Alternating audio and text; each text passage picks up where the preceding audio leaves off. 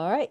Good morning. This is the Senate Health and Welfare Committee. It is April 15th, 2021.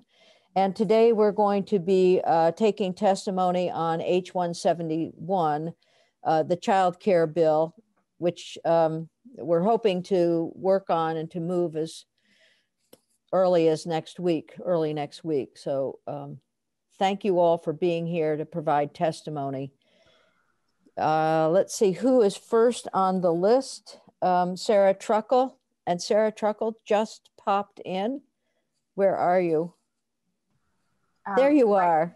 Sarah, thank you for being here. Um, there's a lot in the bill relating to um, child care financing, and you are the expert from the department uh, from DCF on this. So uh, we welcome your testimony do you have anything for us on our documents list? Um, I don't. And if it's actually okay, I um, is it possible that the interim deputy commissioner could kind of give an overview of our department's testimony, and then I could chime in on the financial sections? Absolutely, we we would welcome that. And so, and I don't know that uh, Miranda Gray, your interim deputy commissioner, has been here uh, since you were appointed. So thank you for being here, uh, Com Deputy Commissioner Gray. Why don't you unmute yourself and uh, introduce yourself to the committee and then you can give us the, the overview. So thanks for being here. Thank you so much for having me. so I am, for the record, I am Miranda Gray. I'm the interim deputy commissioner for the Child Development Division. And I appreciate you providing the time for us um, to come and testify on H171 today. I have with me Melissa Riegel Garrett, our Policy Director for the Child Development Division, and then as you know, Sarah Truckle, who is our DCF Financial Director. Overall, the administration supports the concept of the bill and supports the three studies and two advisory groups as outlined. However, there are still sections of the bill that we'd like to touch upon today. Those are section four, appropriations and legislative intent, childcare financial assistance program. Section six through eight, the workforce supports. Sections 10 and 11, the ARPA working groups. And section 12, report, childcare financial assistance program, program enrollment model. Um, with this general overview of what we'd like to touch upon, I'd like to turn over testimony to Melissa Riegel Garrett. Thank you. Uh, thank you. And um, uh, Melissa, thank you for being here. Absolutely. Uh, for the record, my name is Melissa Riegel Garrett. I am the Policy Director for the Child Development Division, and uh, it's a pleasure to be back. And um, I want to start by thanking all of you for your leadership and partnership over the last year as the state uh, has engaged in the COVID response period uh, and all the support for um, childcare and early learning programs. Uh, it sure has been a year, and the field has demonstrated its resiliency and also its uh, significant importance uh, in terms of caring for our kids and families and also uh, supporting our economy. So, uh, much appreciated uh, the work over the last year. as Deputy Commissioner Gray stated, overall, the administration is in support of the concept of achieving access to affordable quality childcare for all Vermont families who need it. Um, the administration also recognizes and appreciates the changes to this bill from the introduced version to the House passed version. Um, we do appreciate your time hearing some final areas of concern. Um, and uh, as I go through this, I am uh, going to reference the bill, and I'm curious if you all are using the official version or the unofficial version as you are um, uh, looking at the bill. Uh, we'll we'll be using the official version. Great, thank you. I'm going to start uh, in section four, which uh, is page 46 of the official version. Uh, this is the appropriations and legislative intent related to the Child Care Financial Assistance Program. Um, the administration is recommending a strike of the intent number two, uh, as it is in the financing study section, uh, and we support it being there um, and at the very least, a removal of the date of October 1st of 2021 uh, in this particular section. Uh, Melissa, um, if I could ask, if, if I could ask for you to just slow down and remind us where you are in the beginning, because once we all get on that page, then we, uh, then then let the reins go.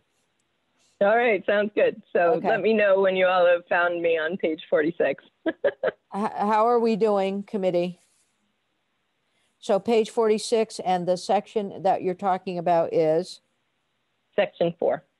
section four on page 46. Okay. So committee, when you get there, Madam Chair, I just want to note that the, the unofficial version is the one that doesn't have the, the crossouts and the strikes.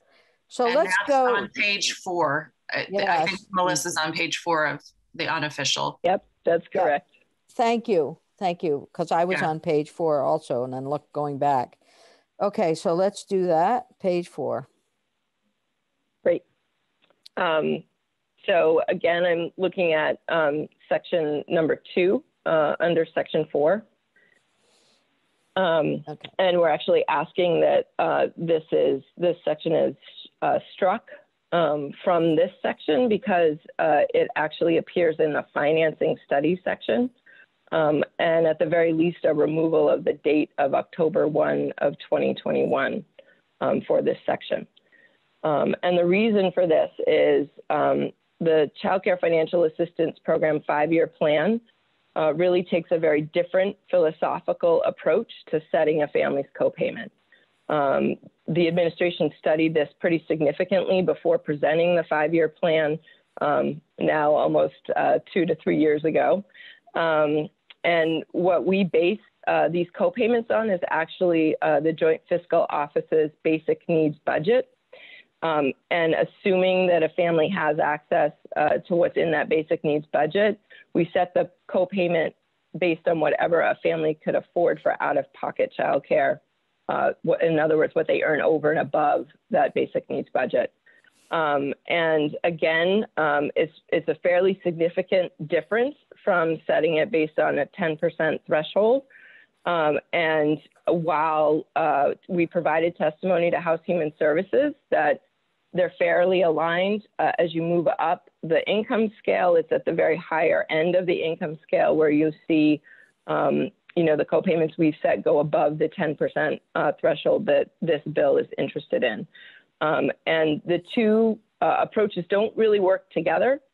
And uh, so, what we'd really like is for this to have an opportunity to be fully studied. And if this is, in fact, uh, the philosophical approach that the state would like to take, um, you know, that, that we would be able to explore that and understand the ramifications of that, uh, both financially as well as policy wise, uh, before implementing it. Um, and so, um, that's that's why we'd like to see this removed, or at the very least, uh, the date removed. Madam Chair, can I ask a clarifying question on this? Yes, go ahead, Okay. please. Melissa, thank you. Um, I'm just wondering, do you have a chart maybe that shows the differences on, on what what you're talking about? Because um, without looking at the numbers, it's hard for me to understand what the difference between what what we're seeing versus the approach you're suggesting or the the current approach. Um, I believe that we can uh, find that for you. There was uh, a chart presented to House Human Services, so I think that we can um, snag that from that submitted testimony and uh, get that to you, Senator Hardy. That would be great. Thanks. Yeah, please just send it in to Nellie and she'll post it on our webpage. Thank, that would be great. Great. Essentially, what happens is when you get at higher levels of income for families, um, up in the um, above 300, 350% of the federal poverty level, that's where you really start to hit um, uh, copays that we have set uh, based on the basic needs budget uh, uh, that are higher, or either at or higher the 10% uh, threshold that this bill uh, is looking at. Um, and certainly, as you get to higher and higher income levels, uh, the consideration to go to potentially 400%, um, you know, that that gets exacerbated as you go uh, up. Um, and so there is actually a, a philosophical uh, conversation to be had about families that are earning higher levels of income um, above the JFO basic need budget and what is their fair cost share um, in a market-based system um, and what is fair uh, for the state to bear um, as we move forward, um, uh, considering this bill.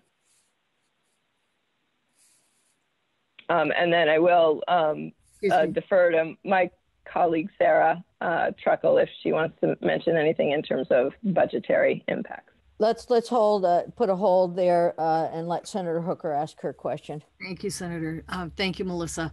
Um, And you talked about the date, at least changing the date. And do you have a suggestion for that? Um, we'd love to just see the date left out uh, and allow the financing committee to do its work and bring its recommendations back to the legislature, um, and then be able to make a determination at that point of when an, an effective date would make sense if we're going to move to this uh, this way of approaching a cost share for families.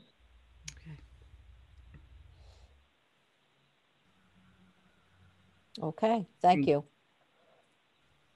I So would now also- you wanted Sarah Truckle to weigh in. Okay. Sarah Truckle, DCF Financial Director for the record. I would also add that two is not currently um, within the FY22 governor proposed budget. So in section 4A, the 5.529 million lines up with the FY22 proposed budget and the governor's proposed CCFAP year three flip. Uh, that does not include the costs associated with um, section 4 B2. So there would be an additional financial cost. The other point um, that I would add here is just that the governor's original budget language did include that 5.5 million. Um, so that in the House proposed, it strikes that from our budget language and moves it and carries it in this bill, um, which creates the question of does it actually add to the base or is it one time in nature? And there's just some technical clarifications that um, would be important to ensure because this shift would require this appropriation within the base. Uh, Thank you for that. And just FYI, um, the, the money sections of the bill, we're going to, we're, we're not going to tamper too much with the money in the bill. That is really the appropriations committee's work. So we'll, we'll hold that. But thank you for that. And that'll, that'll help us when we meet with appropriations. All right, uh, I'm going to move um, to the workforce sections, um, section six, which uh, I believe in the version you're looking at begins on page five. Yep. Um, I just have uh, some general comments here uh, on behalf of the administration. Um, the administration absolutely recognizes the need to support the childcare workforce, uh, and we uh, currently are providing funds to support higher education for those currently working in the field. Um, and you've got Sonia Raymond here, who's uh, part of the TEACH program, which uh, is the program that receives those funds. So uh, look forward to hearing her um, help you better understand that. Um, but uh, there are a couple of concerns uh, with this section, and you may have already noted these concerns. Uh, the expansion of the current program, as well as establishment of a new scholarship program for prospective workforce and the establishment of the loan repayment program does provide an appropriation that's not currently within uh, the governor's FY22 proposed budget. Um, and then it also seems to outline an intent that it's funded in future years as well.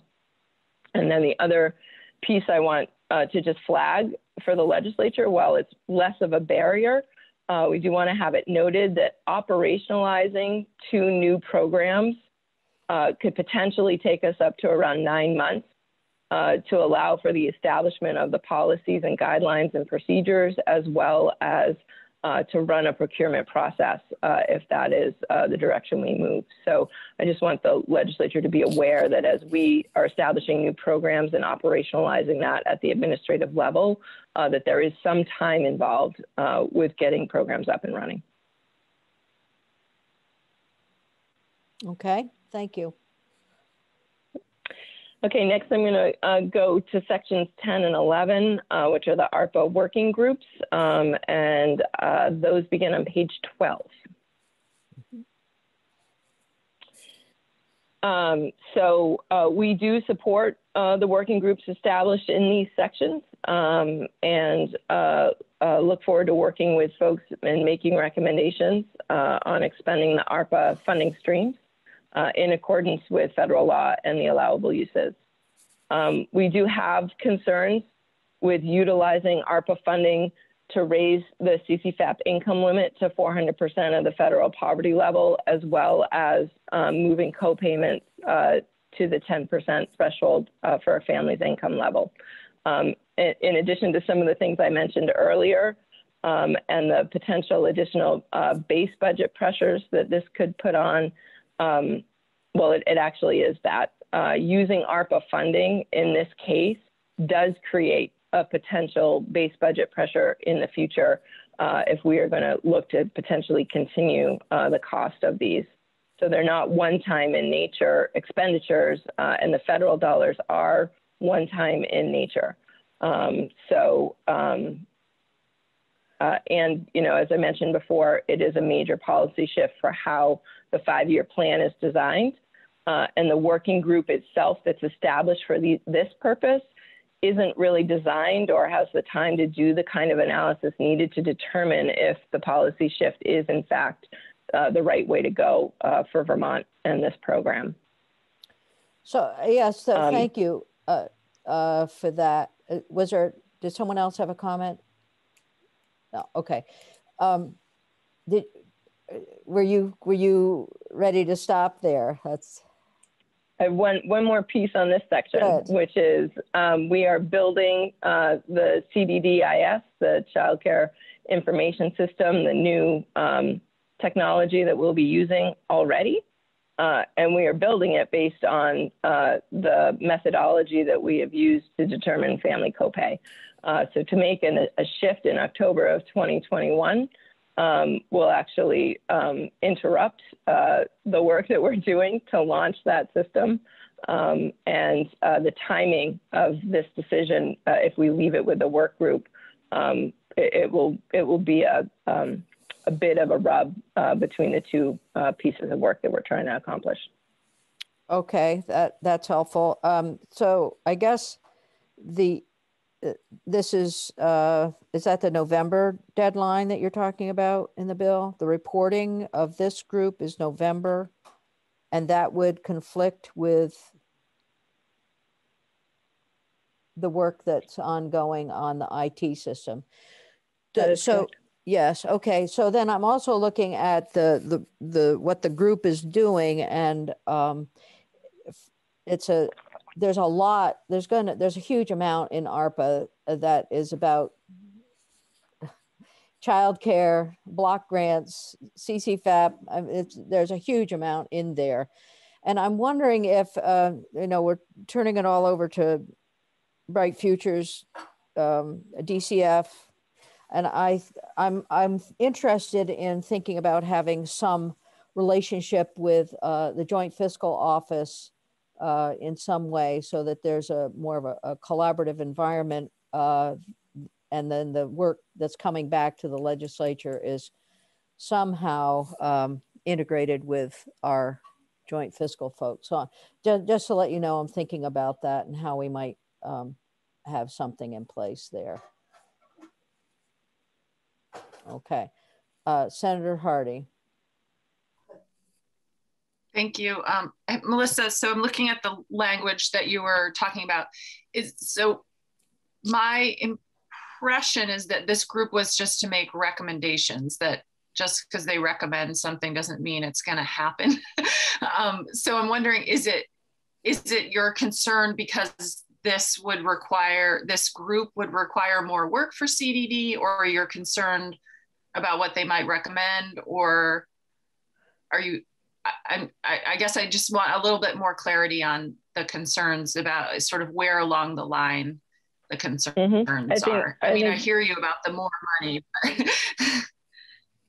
right. So I think ahead, that the, um, the, the, yeah, no, the two major concerns uh, that we have is that um, this is the ARPA money is one-time money, and the use of that money uh, for something that would require ongoing investment by the state um, and the and placing that responsibility to make that decision both financially and philosophically with this particular work group. We haven't structured this work group to have the capacity or the skill set to do that study. That's why we put it in the financing study and placed it with um, you know jfo to really guide that um, uh, it's complex. Uh, you know, the, this decision is, is pretty deep and complex. It's going to require some significant analysis of what is that um, actual impact of using one model versus the other, um, and asking the folks that are going to be involved in this work group um, who aren't necessarily financial people uh, to be doing that kind of analysis um, seems a little bit uh, unfair to them as well as um, those of us that are going to get these recommendations and have to actually uh, work within those recommendations to make final decisions. Okay, that makes sense. I do want to point out that they are recommendations. We can, the legislature would have to make the final decision. This group would not have the ability or do anything besides recommend. And, you know, we reject recommendations all the time. you know that. so uh, that that's just one thing, but I but I do understand your concerns um, for sure. Thank you. Yep. Okay. Sarah, this is a, this has touched a bit on finances. Is there anything else that you would want to add? I think you've highlighted the uh, potential impact around one using one-time funds. Uh, as you, as this committee knows from the past, when we've increased uh, FPL as well as uh, shifting in rates, the economic and the fiscal impact is quite uh, substantial. So, for example, uh, this year we're shifting and doing the flip, and that's a cost of 5.5 million with the current um, with the expected underutilization. So just to highlight that it isn't a, a minimal impact that we would potentially be looking at for recommendations using one-time funds, but that it would have a sizable future potential obligation. Thank you. Great. Yep. Yes, the right. distinction between one-time and base funding is constantly on our minds. So thank you. All right.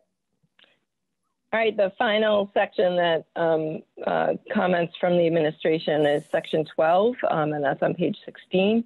Um, and it's the report uh, for um, uh, DCF to do on the Child Care Financial Assistance Program and the enrollment-based model. Um, the department uh, remains uh, in support of studying this change uh, as it's a complex change uh, and won't only have financial implications. Um, for example, it's not currently in the FY22 proposed budget, but it also has policy implications that need to be fully understood and weighed uh, in order to make a fully informed decision uh, about moving in this way.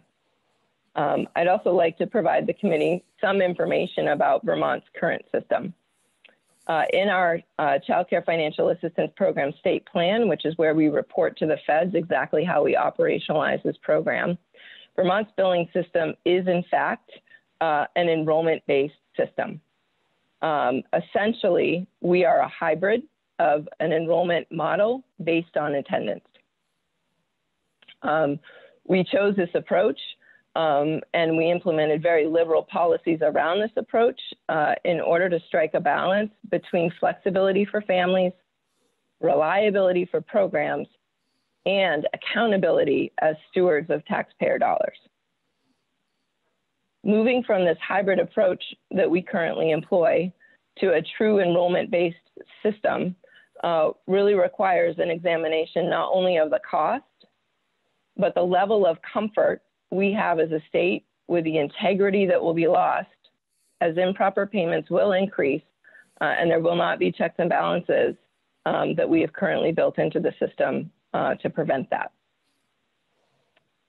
Vermont is one of 18 states that reported in their pre-COVID CCDF state plans that they were using an enrollment-based billing system. Of those 18 states, only six reflect a true enrollment-based policy. Of those six, all of them require attendance be kept either through their licensing or their CCFAP attendance policies. Two of those six require attendance is submitted when billing is made for payment for the system. What Vermont changed during the closure period last year was not actually our payment policy. We remained an enrollment based on attendance system.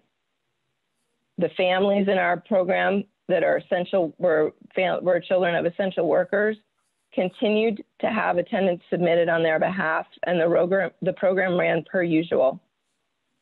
Families whose children were not allowed to attend care due to the governor's order also still had attendance submitted on their behalf. Uh, they used a code um, that enabled us to pay them, uh, even though uh, children were not attending care. Um, and that ensured that there was, in fact, a space for those kids to return to um, when their care provider reopened. The administration fully understands the ongoing budgetary pressures of all child care programs as we remain in the COVID response period and move into the recovery phase. Because the subsidy system only makes up 20% of the regulated system, it really is not the way to go to stabilize childcare during our COVID response. Rather, Vermont's created and invested millions of dollars in COVID response financial support programs intended to support restart of programs and also specifically to make up the difference in operating revenue from pre COVID times. All regulated programs open and operating were able to apply for those funding opportunities. how our policies find a balance between flexibility for families, reliability for programs, and accountability as steward of taxpayer dollars uh, really falls into three categories. In order to support families' access to childcare for their authorized service needs, we base that on a parent's schedule, and families are authorized using a part time, a full time, or an extended care schedule. So if you are a family working part time and you work seven to 10 on Monday through Friday, while you may only have a 15 hour work schedule, you're actually approved a part time certificate, which is, allows 25 hours of childcare.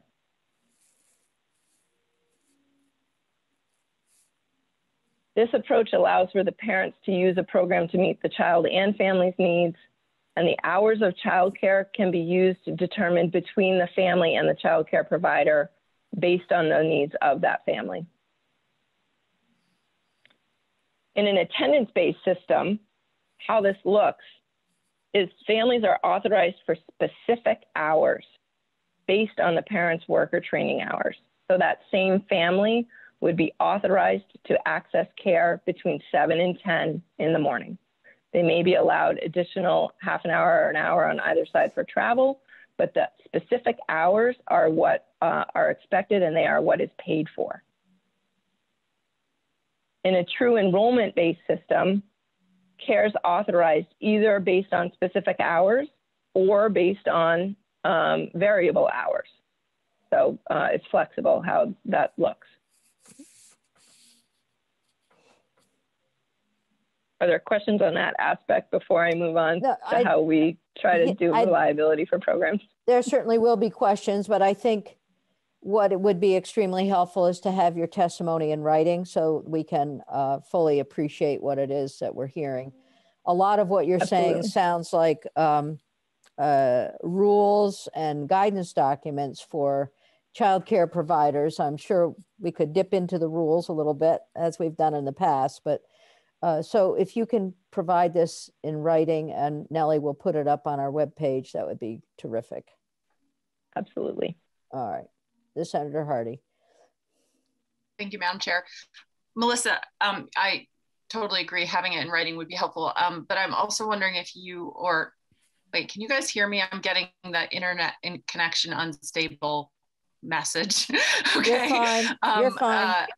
Uh, okay. Tell me if I start to sound weird. Um, uh, wonder if you or Sarah have any kind of you know analysis of this just a quick analysis of the financial difference between doing the attendance based or enrollment ba- based you know how much more would it cost if we were to go to enrollment based i see sarah unmuted so i'll let her go ahead so we were asked the same question from the House, and um, there's kind of two complicating factors. One is that um, in order for us to do that estimate, we actually need the flip to occur because it shifts that estimate. Um, and two, we know that it costs more money because we saw an uptick in our expenses that happened at the end of uh, last year during the governor's closure period but that was under a different set of framework because we're completely flipping the system in October and shifting to this family copay and going to 2019 uh, at the 50th percentile for rates. There isn't a way for us to estimate what it would look like until we do that flip under the new CCFAP year three. Um, okay. So I can tell you it will cost more because I know it will, but um, if I told you what the difference was last year, it would be under a completely different framework and it wouldn't correspond to what, what it would look like this coming year. So, so last, la- I guess that, go ahead, um, sorry. well, Madam Chair, could I finish? Uh, thank you. Yeah. Um, so um, I I hear you. This is complicated, and I I get that it's complicated. I'm wondering though if it might be beneficial to actually get this study. Um, and I think if the date doesn't work, we could certainly consider a different date for when the studies do, But it, it might be helpful for all of us to understand what the difference is.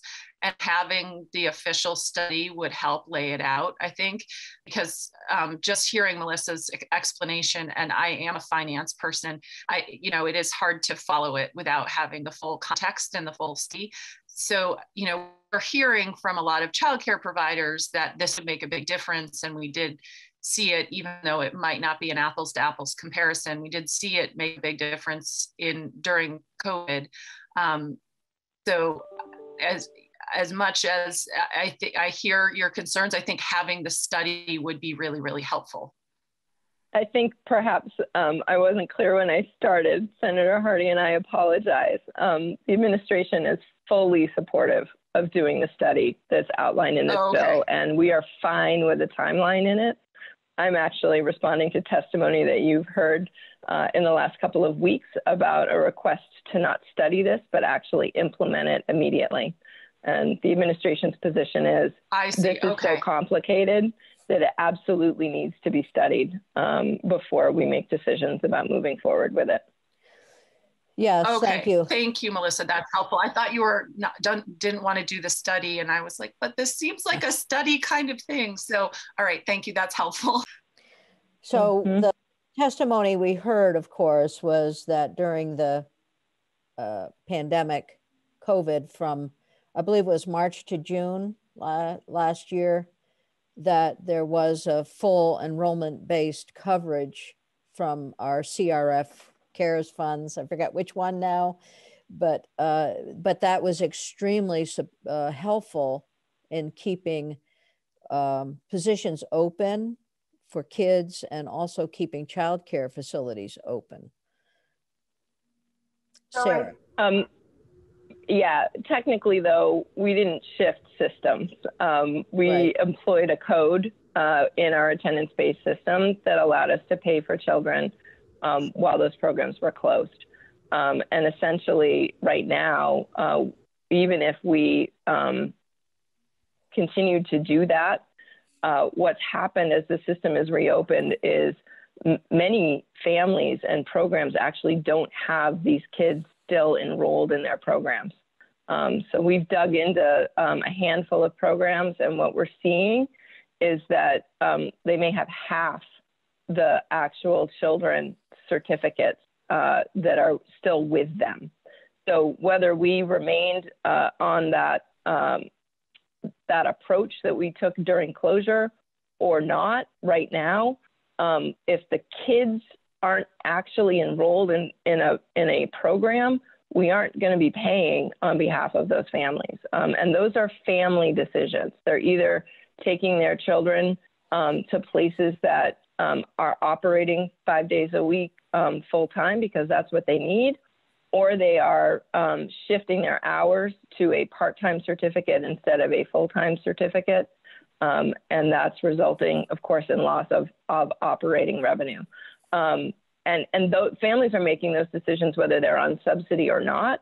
Um, and it's why we created and designed the the operational relief grant program that we ran last fall, um, our CURSA program that we just closed the applications for, and we had over 70% of providers apply for funds through that. Um, again, was designed to help fill that operating revenue gap. Um, so, um, you know, I, I, would just say, like, we haven't ignored that this is an issue as a state.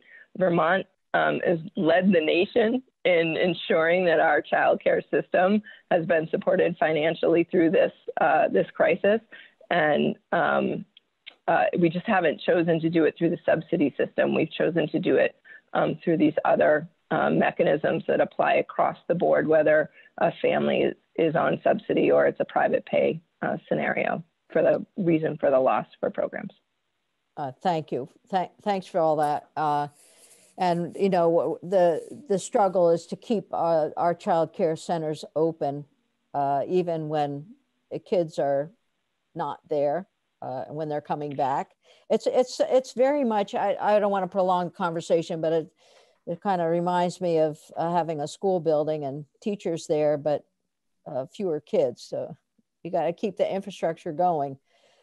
So, but so having the analysis, I Agreed. think, would be very helpful. Yeah, I know it's a tough one. It's a, it's a really a tough it is one. Diff- it, is, it is very tough, and I think you know the the significant difference between childcare being a market-based system and you know the public school being a publicly funded system. Um, it it really creates uh, some very different uh, barriers and things that we need to pay close attention to. Um, ramifications of policy change um, have ripple effects that can impact private pay families. Um, probably not in this case, but uh, in other aspects of this bill um, that we really need to fully understand um, before we pull that trigger, um, unless we're able to go to a fully universal system, which I think we're probably not. Uh, it, it is a it is a high price tag to get there. So. Um, uh, I would just say that you, the committee mentioned some pieces around uh, child absences last week, and if I could just talk a little bit about, you know, currently we do require providers to submit attendance, but we have a significant uh, number of codes that uh, providers are able to use uh, if um, families are absent. Um, and those include um, uh, provider closed days. So if a provider chooses to be closed, there are up to 15 of those that they can use annually. Um, if a child is sick, uh, there's unlimited uh, sick codes that can be used for those, those kiddos. Um, and we've extended that to COVID quarantine or um, other things, um, decisions by the family um, to be used during this response period. Uh, in addition to that, uh, families can take up to 10 days a year of vacation. Um, and then one other final policy that we have that's really significant is if a child attends one hour of care in a week, we pay the full week on behalf of a provider. So a provider can literally put in attendance of one hour on any day at any point during a day of a week uh, and we pay out the full rate of that allowable certificate. Okay, thank you. Any other questions? Uh, uh Sarah, did you want to add anything or uh, Commissioner, Deputy Commissioner Gray? The only piece that I would add around what we did last spring is that in addition to allowing uh, this shift during the governor's closure period for CCFAP. We also, through the Child Care Stabilization Program, covered the tuition of um, all families uh, at that 50%. And if a child was unenrolled, we covered it at 100%. So it was a very different time where we were effectively covering the tuition of the system during that closure period um, in recognition that unless you were an essential worker, that that care wasn't being provided. So that didn't just impact the CCFAP system, but it also did significantly impact the private pay system and really stabilize providers on uh, both sides because CCFAP is only, I believe, 20% of our overall system. Okay, thank you. And so as, as we asked for previously to get this information in writing, it would be extremely helpful. Okay, Senator Hardy has a question. I just have a comment, um, and specifically to Melissa, um, because when I saw you pop up on the screen, I sort of got a flashback to a year ago and the many, many conversations we had as um, everyone was scrambling to try to figure this out. And um, I know you were working a bazillion hours. I'm sure everybody was, but I specifically talked to you a lot. So I just um, wanted to thank you and your whole team for all the work you've done over the last year, because I know it's been really hard. So thank you. I think as hard as it was for us, um, I can't even imagine what it was like being on the ground uh, as a childcare program reopening under, um, you know, real restrictive health guidance, uh, ensuring health and safety of those kids and families, um, and the ongoing work that they have just done um, over the course of the last year uh, under those circumstances. So thank you very much, Senator Hardy, but um, really the kudos go out to the field. Oh, absolutely. Oh, I completely I agree. I, you had a, a, role in that too. So I think the kudos go across the board and it, it's been a difficult time and that Vermont has done so well is a testament to you folks as well as uh, people out in the on the ground. Well, thank you. I agree. Um, so any other questions or comments? Okay. Um, thank you for your testimony and we look forward to having it um, on our web page. I know it's may seem like extra work, but I'm, I think you've already done some of this. Yes. And uh, so we'll, we'll look for it. Thanks. Uh, thank you all for being here. And so we're going to move on to um, Sonia Ray Raymond, who's here. Um, so welcome back. And why don't you introduce yourself for the record? Thanks for being here. Thank you for inviting me this morning. I really appreciate the opportunity. Um, for the record, Sonia Raymond. Um, I have a dual role. I um, work for the Vermont AEYC. Um, I oversee programs such as Teach um, and other scholarship programs and funds um, to support early educators. And I also own a program in Stowe, Vermont, early childhood program.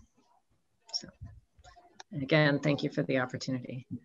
Um, so uh, we all agree that quality early childhood has been essential to our economy. Um, but in these times that we've been through, accessing the early childhood education has become actually imperative and providing stability for the families that um, these programs are serving and ensuring the health and growth of development of the children is um, paramount. Um, so when the pandemic hit and many people were working from home, um, as was mentioned, there was a portion of our population, the essential workers, um, for whom that was not even possible. And um, early childhood education programs stopped, stepped up, reopened um, their businesses and served the families. Um, and it was really all of you in the legislature that we have to thank um, that really led the nation, honestly, in supporting these programs um, until the state um, could reopen in some capacity. Um, so I just really want to thank you for your leadership. it's been amazing. Well, we're going to thank you as well. Uh, uh, we all worked very hard to make these things happen, and we greatly appreciate that recognition for our work. Yeah, it, it takes a village, as they say. Yeah, um, absolutely. So, yeah. Um, it's, but it's also, you know, never been more clear that an investment in early education isn't only just key to our economic health, but it's going to provide the very foundation necessary for young children to develop into these well-rounded, happy, productive members of our society. Um, and as before the pandemic, the very existence of early education is in jeopardy. Um, families can't afford early education. Um, some paying as much as 30% of their household income, even with state assistance. And early childhood educators um, not being able to make a living basically. The median wage right now is $14.80 an hour um, and often this is without health insurance. So program capacity has continued to decrease and challenges with hiring and retaining early educators has really reached a crisis point. Um, without specific and targeted investments being fully realized we're going to continue to see this decline. Um, the quality of early education programs begins and ends really with well qualified early educators and program leadership. So unless we ensure that there are affordable entry points into this profession and the resources for those that are currently in the workforce and proper compensation for this important work that educators do, we will not be able to stop the exodus of early educators out of the field and we will not be able to attract new early educators either. So addressing affordability for families also must be a top priority for us. We can't hope to have a strong economies if families can't afford to go to work. Um, yet this is really the reality that our we are facing at this point. Um, most families now face really difficult choices. You know, do I work and support my family when the majority of my paycheck is going um, for early education um, services, or do I stay home and begin accessing other social supports for my family? Um, so we at Vermont Association for the Education of Young Children really support strongly um, H171, which calls for several key actions and investments that are the first steps necessary to addressing the affordability and accessibility um, to quality early education for our working families. We also have a few suggestions for how the bill could be changed to better support Vermont's children and families, in addition to Vermont's early educators as well. Um, we'd like to highlight just a, our support for some of the components that you'll see in um, the testimony that I sent. Um, one is affordability and accessibility. So H171 keeps us on the path toward achieving a five-year redesign plan for the Child Care Financial Assistance Program um, that was just discussed, which continues to incrementally address family affordability.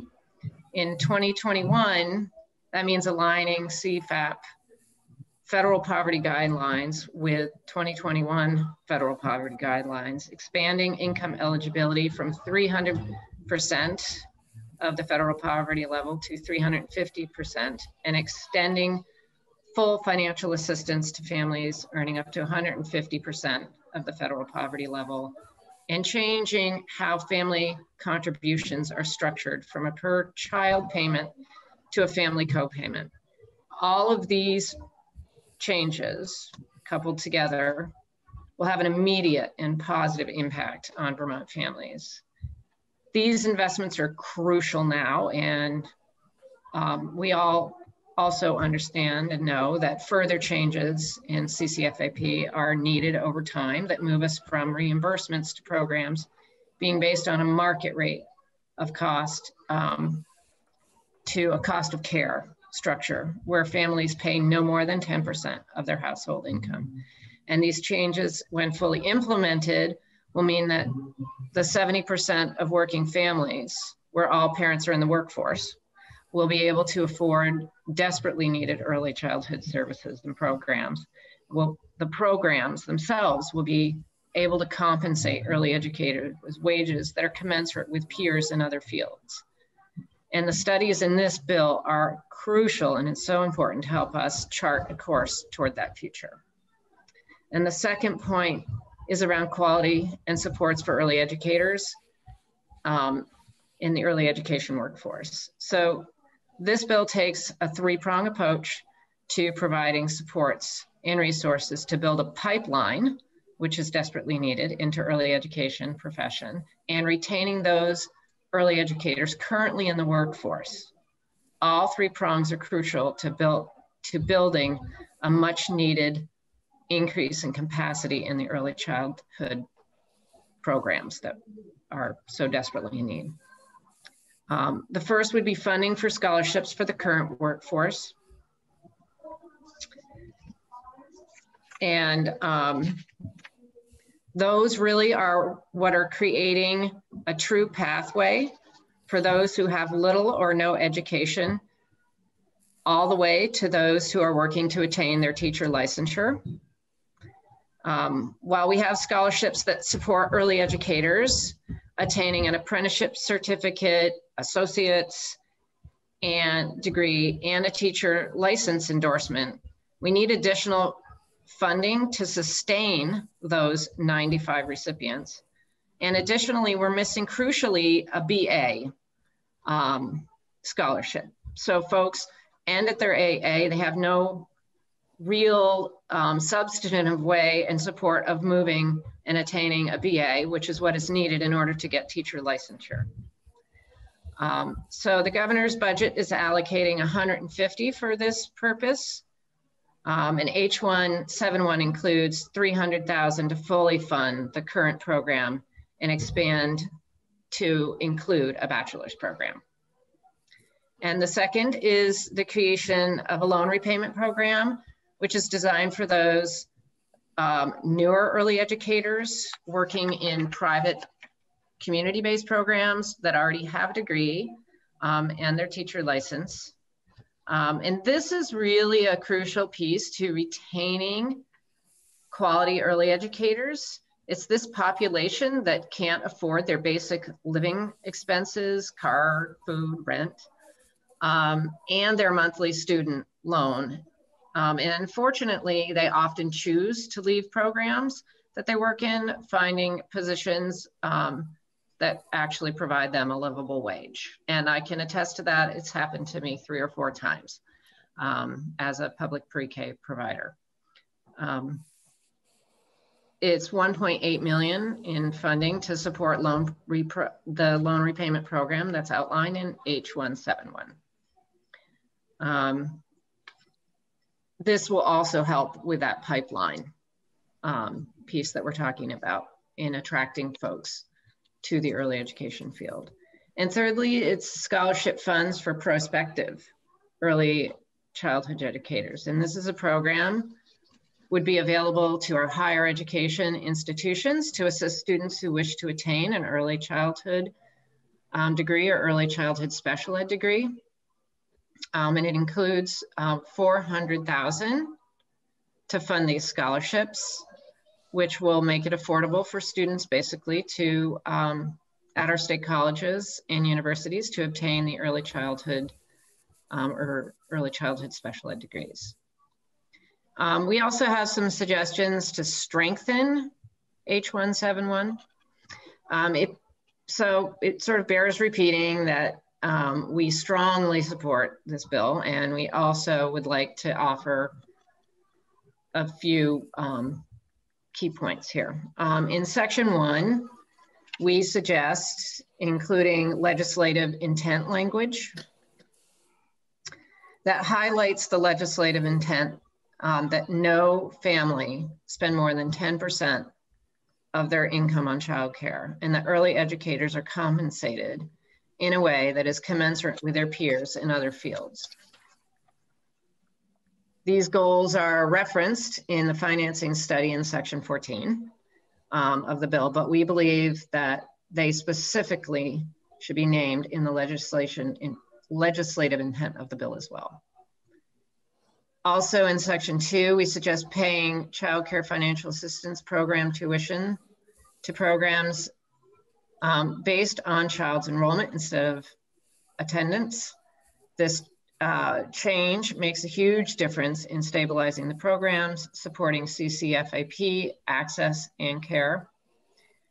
Um, I also see firsthand the differences that this change could make. Um, though the administration has been incredibly generous in their approach to, you know, all of the absences that Melissa outlined that are allowed um, it still creates an additional burden on families and programs to justify absences that are not present for other families in care. Um, for instance, it's very difficult for programs. Uh, there are 15 provider closure days that were mentioned.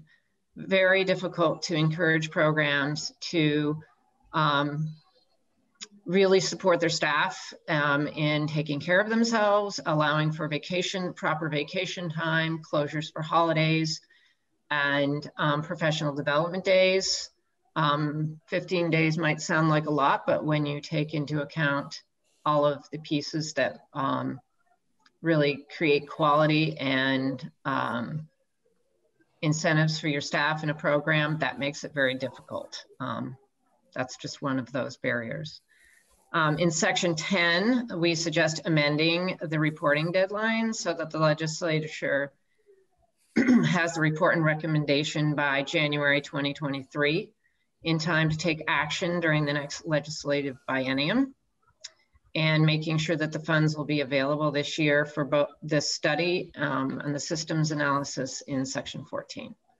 The financing study and the systems analysis are critical in achieving our vision for Vermont's early childhood system and really need to be prioritized in this bill. Uh, as I said before, we're basically at a really crucial time and we know that early education is essential to the economy and to the health and growth and development of our children. And I really see the fragility in this system, and it's just been exacerbated um, through the pandemic. If we don't address affordability, access, and quality, we're going to start losing this industry altogether. Um, and that would truly be a cost that I really don't feel like we can afford at this point. Thank you. Thank you as usual, clear, concise, and comes from a place of uh, from where you work, and we really appreciate uh, your insight. So thank you very much. Um, questions for Sonia? Go ahead, Senator Hardy. Thanks. Hi, Sonia. Thank you for your testimony. Um, I have a clarifying question and then a a further question about the scholarship stuff. Um, mm-hmm. You just mentioned section 10 and the report in section 10 and moving the date up. And I'm wondering if you actually meant a different section, because I think the report in section 10 is due um, on November 30th, 2021. Is, is that? Yeah, I have that wrong. I apologize if I do. Yeah. Okay. Are, you're talking about, are you talking about the financing study report yes. that's due in a few years? Okay. I think that's in a different section. I think that's. You moved it to uh, 2024. Right, that's in section 14. 2020. 14. Yeah, so, okay. yes, thank you for that correction. Sure, I just want to make sure, I, this, since there are so many reports, I wanted to make sure I know, I I'm sorry. no, no, no, you're fine. It's confusing. I can't, I'm having a hard time keeping track of the reports. They all seem important, but when are they and all that? Um, and then I, I wanted to ask you, because you're involved with particularly the professional development aspect of things um, and VACE, um, is um, there was a in Melissa's testimony, she made a comment about sort of getting these programs up and running and how that mm-hmm. may be challenging in the timeline with everything else that's going on. And I'm wondering um, what your thoughts are on that and what role you and your organization would be playing in that and, and sort of how do you see the, the sort of logistics and administration of getting the program's going is there a way to tack on to what's already happening that would make it easier or yeah so just your thoughts on that mm-hmm. well I, I understand completely what you're saying about um, the time frame that it takes to right really create these program a create the programs and then systematize them and then again if they need to go out for procurement um, so um, then you know you have the, all of that time frame. And honestly I, I can easily see where that sometimes takes up to nine months to a year. Um, you know i guess it depends how what the system is that's put into place right? Um, and how simple or complicated we want to make the whole thing. Um, yeah the pieces around um, the current workforce is a is a obviously those additional funds, um, that is an easy lift and really shouldn't take any time to implement. Um, but it's really, I believe what they're speaking about is the loan repayment specifically, which is a program that doesn't currently exist. Um, and the, the scholarship funds for early educators that are for the colleges specifically. And so um, we would, of course, assist in any way that we could, um, but ultimately, and I, and I think, you know, there's been a lot of research already done to tap into in terms of um, just writing this bill um, about how the programs could and be structured and how they've worked in other states. Um, you know, eh, what's worked, what doesn't, um, who might be some of the potential um, folks that could administrate this work, right, once you've pulled it together. Um, you know, in other words, who might actually uh, apply to um, procure this, right? These funds. Um, I personally recommend using systems that are already in place, right? Um, whether you choose to use somebody like VSAC for the loan repayment program, um, you know, those kinds of things, I highly recommend that um, for expediency's sake, right? It is important. The sooner that we can pull these together, the better. Um, you know, because, um, you know, without these other two pieces, honestly, you're really going to continue to just lose, um, lose staffing. Uh, the loan repayment is something we've now been asking for for a few years. Um, and it's for folks who have, which are many, community-based, um, qualified public pre-K programs, they really struggle to keep their early educators, their licensed teachers. Very difficult. And if you lose one, you you know, and you have 30 days to find another, there isn't one to find. It's, it's that simple. um, so, you know, um, this pipeline of allowing folks to see early education as a profession that they can afford to, to go into for their livelihood, that piece is crucial. And so is the um, prospective because, you know, folks, if they want to take the route of going out of high school and going straight into college, um, then coming out with a debt is not proven to be helpful. So these are really programs that we see as not necessarily needing to remain this way forever in time, but as a way of helping move us to a place where we are building this pipeline as well as supporting the current workforce to get the degrees and credentials they need, um, but not needing to be in place forever and ever in the same way. Right. I, I totally get it. I understand. I was just trying to figure out if there's an easier way to get them up and running to reduce the administrative burden. Um, so if you have, if you think of anything, let us know. thank you. Okay. Um, thank you very much, Sonia. This is helpful. Um, as usual, really, thank you. Any other questions? Okay, we're, we're going to continue moving along. We've got three more folks and then our, we're going to go through the bill with our ledge counsel. So um, let's see how far we can get. Uh, Dimitri Garder is here, a CEO of Global Z. Dimitri, thank you for being here. Well, good and morning. do we have something from you on, uh, or do we have testimony from you? Uh, no, I didn't submit written testimony. I'm uh, happy to do so after the fact, but I wanted to focus on verbal testimony for now. Perfect. Thank you. Good. Well, good morning, and thank you for the invitation to uh, present testimony to the committee this morning. Um, so I, we have some specific recommendations regarding uh, H.171, but before I get into those, I really wanted to frame our recommendations in the broader context of uh, why the business community is so supportive of investments in early childhood education. And I, I want to start by saying that this is a fairly remarkable place where the business community is right now and uh, that really can't be understated. And uh, we feel so strongly about this issue that um, we're actually uh, favoring fairly bold moves and do favor um, ultimately a fully universal system, uh, recognizing that there are challenges to get there. Um, so I want to frame that in the context. So first of all, I'm uh, I'm Dimitri Garder, CEO of Global Z International. We're an IT company located in Bennington. Uh, I'm also a board member of the Vermont Business Roundtable. Um, the Roundtable is a group of uh, over 100 CEOs from across the Vermont business community. Uh, we tend towards the larger employers, but there's a fairly diverse membership. We're a nonpartisan group, and we're known for taking a, a deliberative approach to uh, systemic issues with a long view. Uh, the Roundtable has been working on early childhood education as one of our key policy priorities for over uh, 10 years. uh, because we believe that it's important for Vermont, and I'll get into some of the specifics as to why. Um, and we're really looking at the long-term approach and the long-term outcomes from these investments.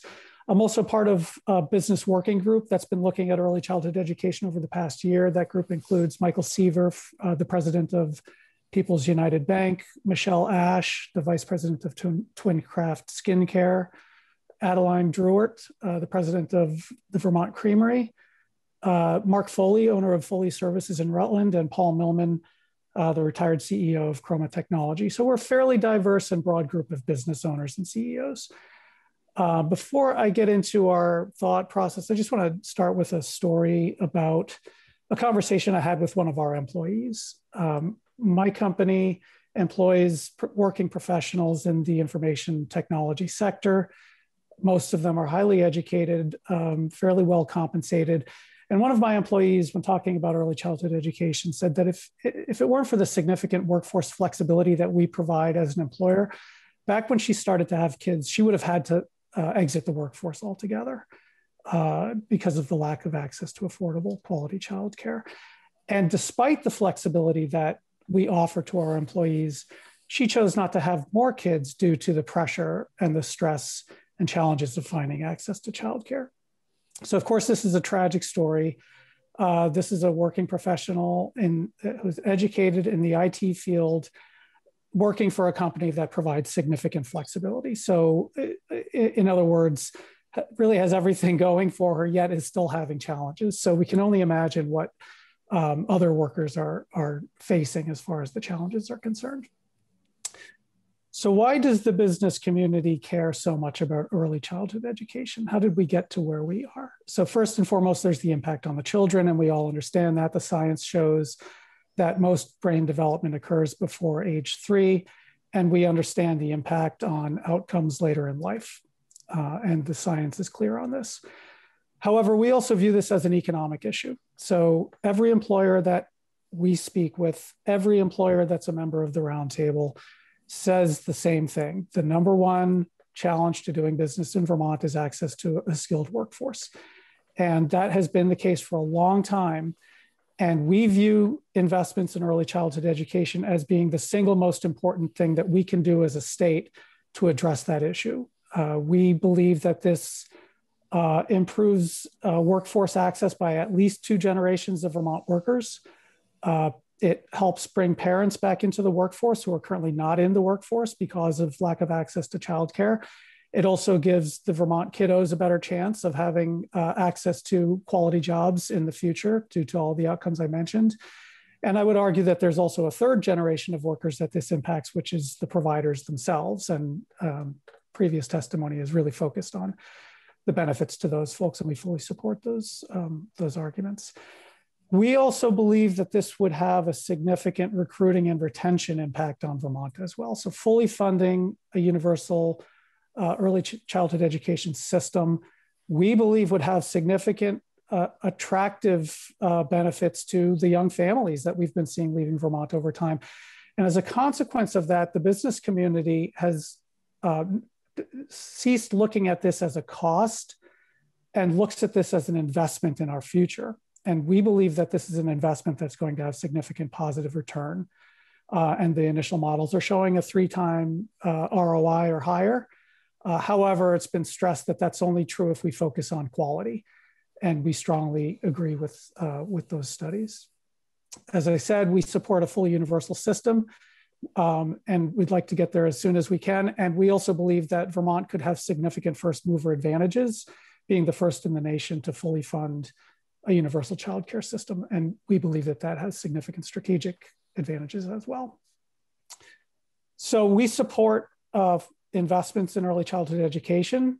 Um, this is a fairly remarkable place to be as a business owner to say that I represent a business group that believes so strongly that we need to do this that we're willing to support it even if it means looking at new revenue. Now, I don't speak for everybody in the business community. Not everybody agrees with that. But broadly speaking, that's where the roundtable is, and uh, that's where our working group is. And uh, we feel strongly that there are some guidelines that um, we, we feel need to be communicated around our support there that frame uh, why we are where we are and, and how our support will continue moving forward. So the primary guidelines of our support are number one, urgency. So we knew that this was a problem before COVID. COVID, I think, increased awareness of the issue. And we know that this is going to be a problem, both in terms of the social and the moral and the economic outcomes for children and the workforce long term. So we, we're looking at the long term solutions here, but we need we believe we need to move quickly on this.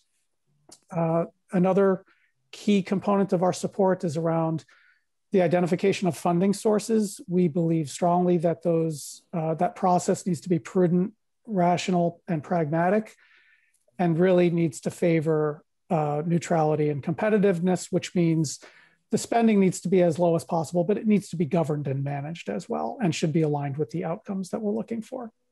And that leads me to the third and possibly the most important point for us, which is the governance and the accountability framework and I'm going to get into my recommendations, but um, a, a, lot of them are really framed around this idea of governance that we believe uh, that there should be significant business representation in a governance and accountability framework in early childhood education investments, particularly if, as anticipated, the business community is going to be looked at as a possible source for funding uh, for the program. And, and we believe our involvement in the accountability would be uh, really, really important to maintain uh, the outcomes that we're looking for. So specific recommendations on H.171, we fully support the bill. We think that it can be strengthened.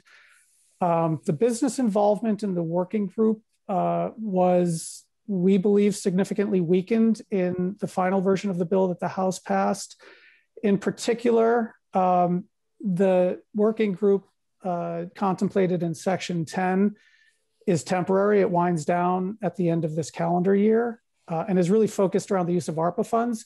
We would favor a longer term working group uh, that looks at the longer term financing and governance aspects of the system. That includes significant business representation. There were some business groups named in a previous version of the House bill. We felt that that was stronger because it identified champions and stakeholders. Uh, and, and we would favor uh, language like that in, um, in back in H.171. Uh, we also strongly support the studies. We believe that they're critically important to uh, determine what the spending uh, is going to uh, amount to and look at ways of funding that. Um, so we agree with the, the points that the other groups made on that. And in particular, the timing uh, on the financing study, we agree with Sonia that uh, the end of uh, 2023 is too late. Uh, in the interest of urgency, we would prefer to see the report out uh, by January 1, 2023. And then finally, um, while we're looking ahead here, some, some thoughts about possible ways of funding early childhood education, again, in the context of this being a long view for us. Uh, we don't have specific prescriptive ideas regarding uh, specific financing mechanisms. However, we have established a set of guidelines that we believe are important to consider when establishing any funding sources, especially considering that we're looking at a fairly large investment here with the potential for new revenue. Um, we feel that it's critically important that the funding is sustainable and has uh, minimal overhead. In other words, leverages systems that we've already got. As Sonia pointed out, there are systems that are already in place that we can leverage to help improve um, the, the onboarding uh, of, of these programs. Uh, we believe strongly that the spending should be aligned with the benefits. So the benefits we see are largely in the area of workforce and aligning spending with um, the employer and the employee community uh, is philosophically consistent for us. And we also feel strongly that spending should be um, fair and evenly distributed. Uh, we oppose the idea of significant carve outs, whether it's uh, individual employers that fall into certain categories. We believe everybody should be in employers, employees. We all benefit from the outcomes of the program, and we believe we should be all um, responsible for the funding.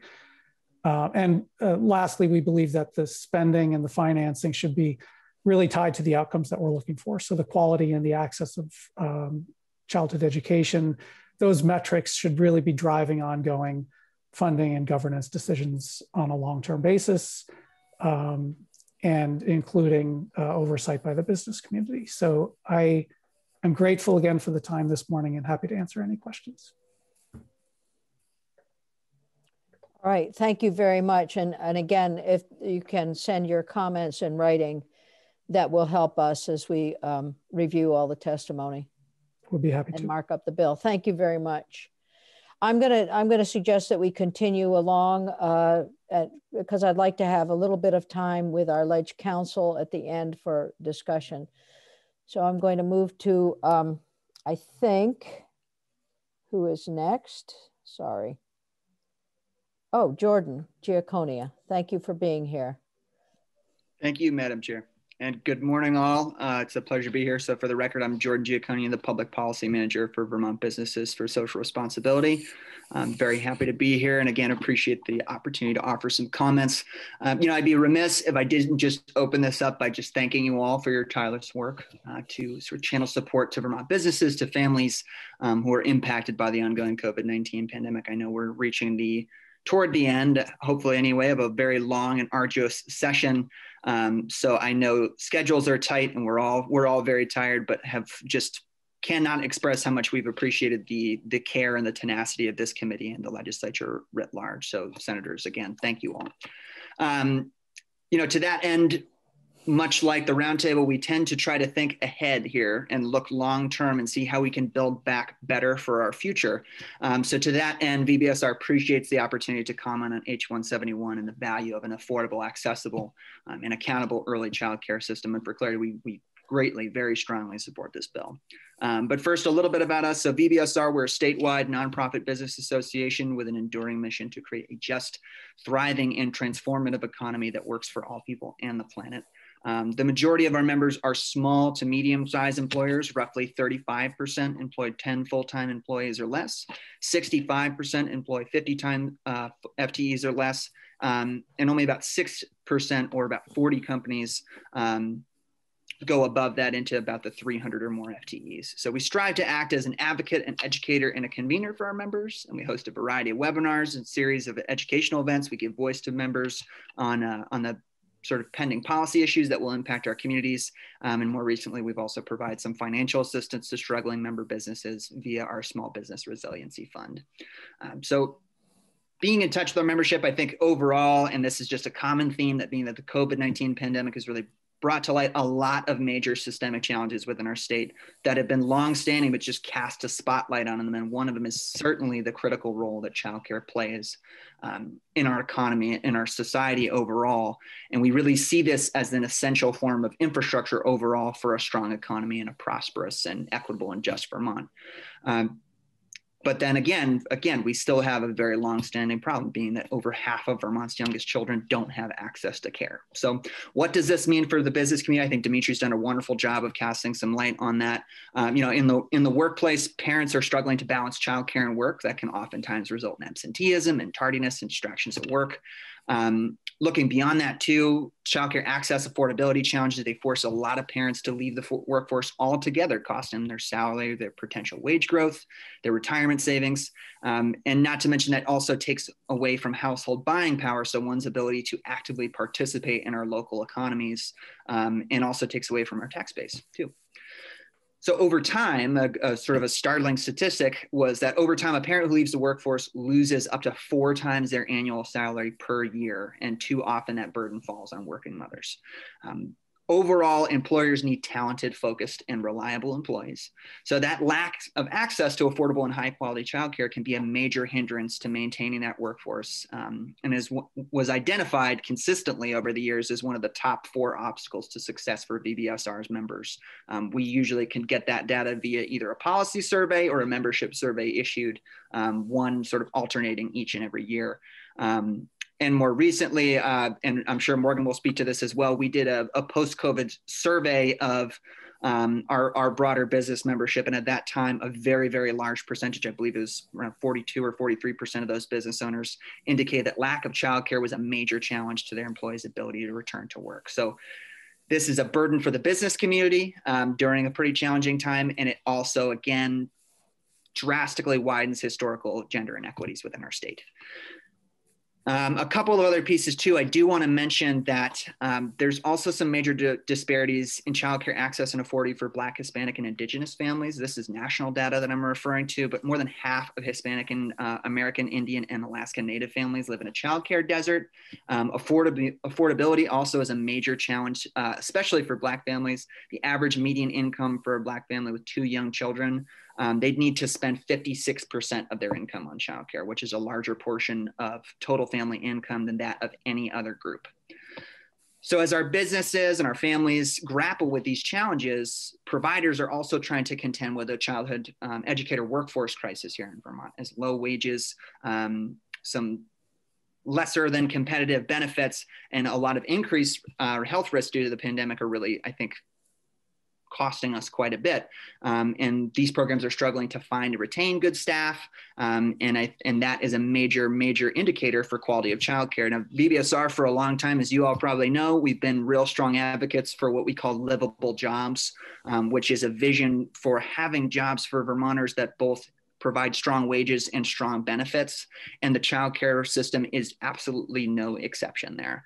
Um, so we are very committed to building a, an equitable and sustainable childcare system, one that's universally affordable, accessible, um, and values that tireless work of our and the expertise of our childhood educators. This we see this as an economic and a moral imperative, um, one that promises not only to grow our economy and workforce, but also, um, as Dimitri alluded to, but to attract and retain new families looking to make a home our little state. I can safely say, as a as a young and fairly new Vermonter, uh, that one day hopes to to build a family here. That I'm deeply concerned about the cost of childcare. It's kind of one of the bigger barriers and one of my bigger hesitations about starting a family here.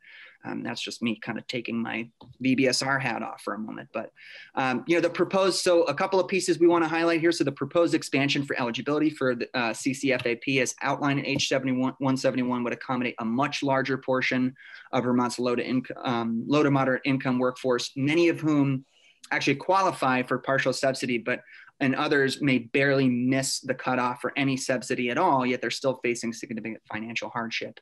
Um, meanwhile, the bills propose scholarships for student loan repayment assistance programs um, for existing and prospective childcare providers. We again, again see that as a really invaluable opportunity to create predictable employment conditions um, and also really create a critical tool for recruitment and retainment of, of high quality caregivers. So again, building out that local childcare workforce. And as we've seen, being strong advocates for, for minimum wage and for, for uh, robust, robust benefits like paid family leave, when you invest in your employees, your employees invest in your business, or in this case, um, in your childcare facilities and, and those that you care for. A couple other pieces I want to make really abundantly clear here that uh, VBSR members are deeply, deeply invested in this issue, and we are committed to being part of the solution, but we cannot do that alone. A lot of our members, and again, as you can see, we kind of represent a fairly diverse swath of the, of the business community. They've taken a lot of different approaches to trying to address childcare challenges. So some have offered on-site childcare facilities, others have provided subsidies to help their employees cover costs. Others offer flexible work schedules and maybe a hybrid and remote work opportunities to accommodate the needs of working parents. But while these are all really admirable solutions, and I think are part of why I'm so proud of our membership and proud to represent them, um, they're only a patch fix for a much broader and more systemic problem. So what we really need to do here is drive home solutions that are going to involve both state and employer investment, and we have to do that in a way that's not prohibited prohibitive, excuse me, for our smaller businesses and startups. And frankly, that begins with studying the problem. Um, so when a business is faced with a major challenge, the responsible thing to do is to investigate options and to understand the repercussions before you move forward. The financing study as, as detailed in H171 would help to speak not only to the challenges that businesses and employees face in accessing affordable childcare, but also to inform creative ideas, I think that could maximize those community and, and economic benefits of childcare reform. Um, that said, this study needs to happen more quickly than is outlined um, in the bill passed by the House. So, given the immense pressure that businesses are under and the urgency to address this crisis as our little state looks to recover from the COVID 19 pandemic, um, a report back in 2024 is just frankly much too late.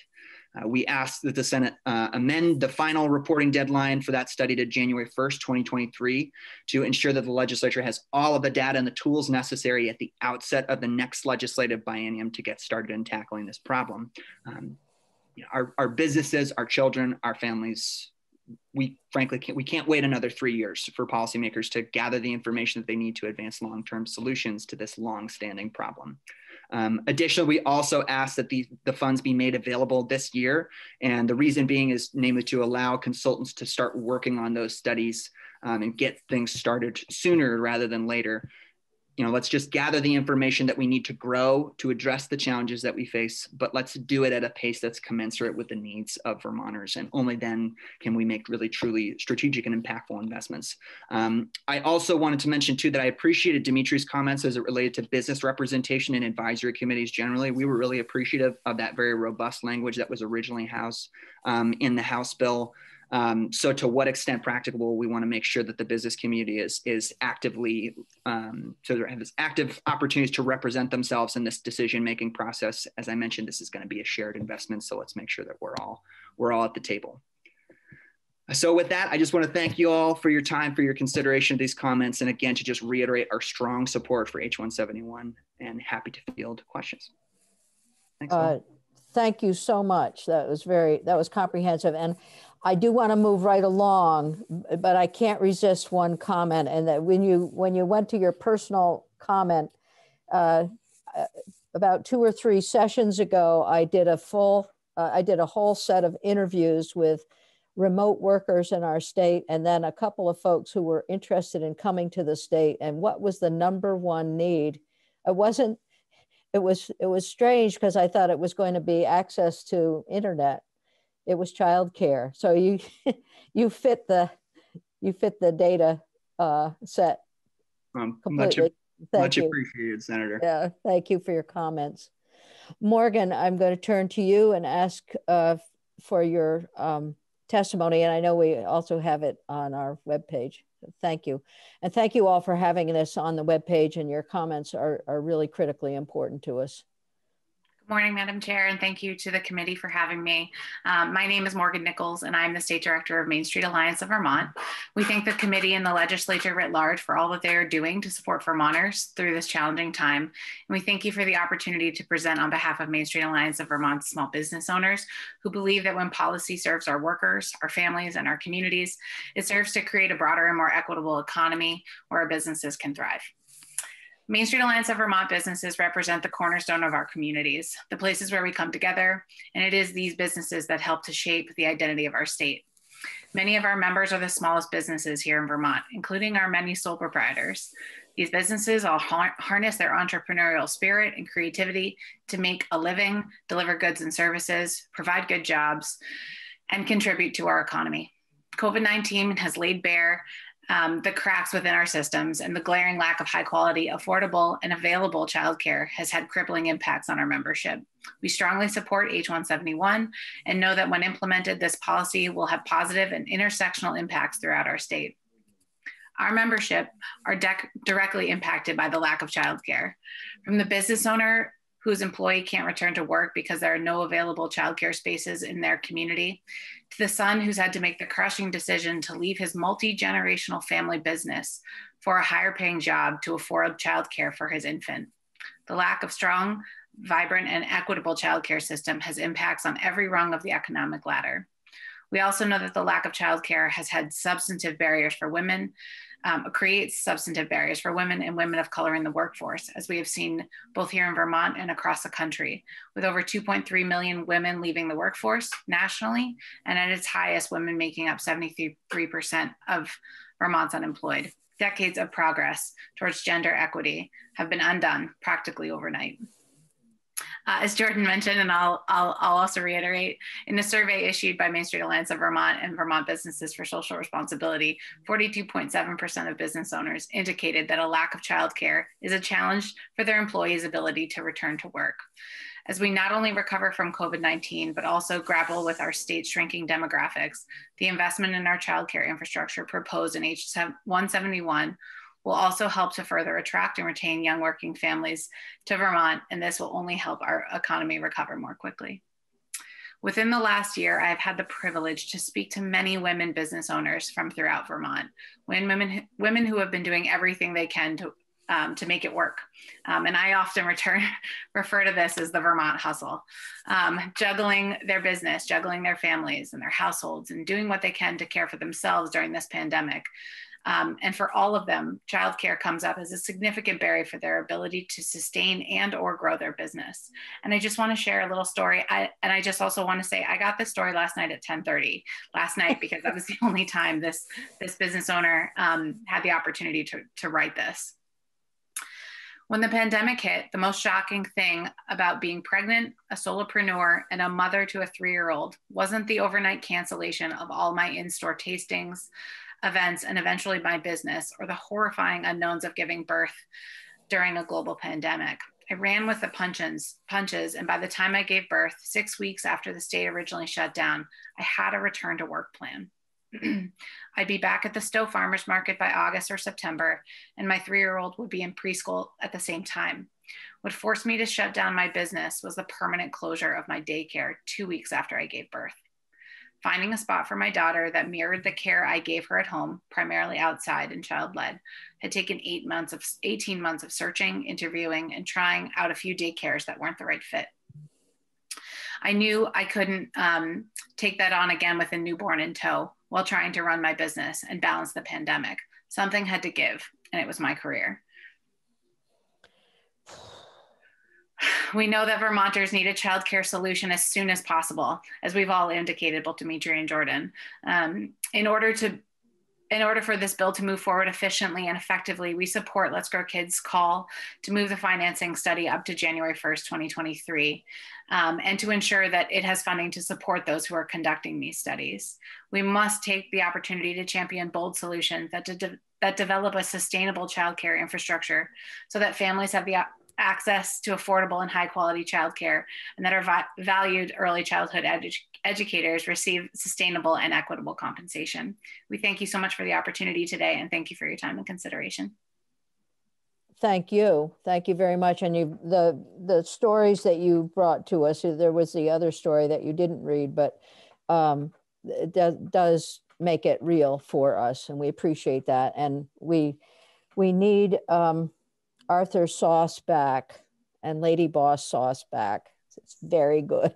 It's very good. And it is excellent. and I cannot tell you how often I hear those stories um, time and time again. I'd lose childcare, my business closed. So thank you again for the time and opportunity. Yes, thank you. Uh, and we hear you. Um, can I just will ask one question and then uh, we're going to take a quick break. And uh, I think it's to Dimitri and Jordan. You commented on the uh, section of the bill that had business uh, folks involved in the working group. Can you uh, indicate to us the section that you're talking about? Uh, yeah, this is section 10. Um, yeah. Okay. Yep, which includes the working group uh, working with DCF and um, building bright futures. Thank you. Okay. I, I guess it was narrowed down. Uh, if, once you start building a working group and everyone wants to be interested in it, it makes it difficult, but it's certainly something for us to look at. We appreciate uh, your interest in this. It, it, it's really refreshing to have so much business interest in what we're doing here with uh, childcare. Thank you. Thank you. Okay, so committee, uh, we're going to take a five minute break. Uh, so, well, be six. So come back at 1040, please. Nellie will go on break and then we're going to come back for uh, to work with Katie on H171. And then after that, we have some more testimony um, from yesterday on 120 and 132. So 1040.